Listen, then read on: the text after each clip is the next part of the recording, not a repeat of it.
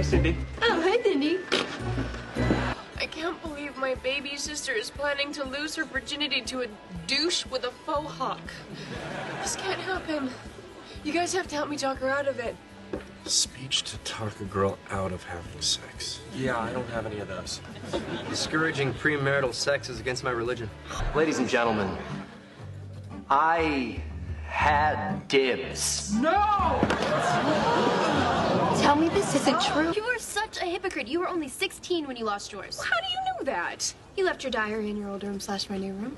I'll pay you $10,000 for that diary. Girls like to come across all classy and smart, you know?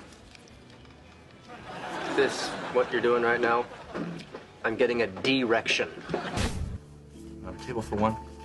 One couple? No, just me. Really? For brunch?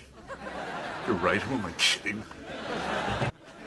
Now, you could try to apply for a sex visa, but that only lasts 12 hours. 14 if you qualify for multiple entry. Mm. Mm. Oh, I love you, Marshall. I'm so glad we're waiting. Oops. That was amazing. Yeah. Want to do it again? Please don't. Robin, girls are like cartons of milk. Each one has a hotness expiration date, and you've hit yours. I'm not saying the occasional guy won't still open the fridge, pick you up, give a sniff, shrug, and take a sip anyway, but it's all downhill from here. Because brunch is kind of Girly. Girly. Breakfast isn't girly. Lunch isn't girly. What makes brunch girly? I don't know. There's nothing girly about a horse. Nothing girly about a horn. But put them together and you get a unicorn. Did you tell anyone at the office? Um.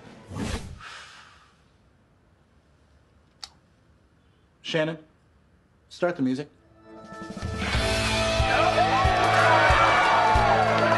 I'm her older sister. I'm supposed to teach her how to make good and responsible decisions.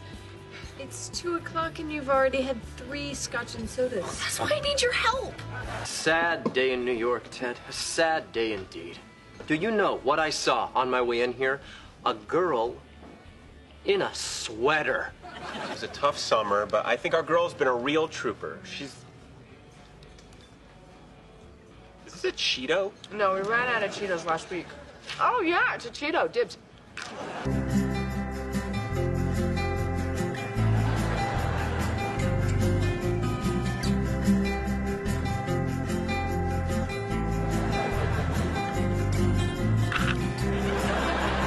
Marshall and Lily. When people see us, they say, oh, look at them. They've only had sex with each other. No, Marshall, they say, oh, look at them. They've only had sex with each other.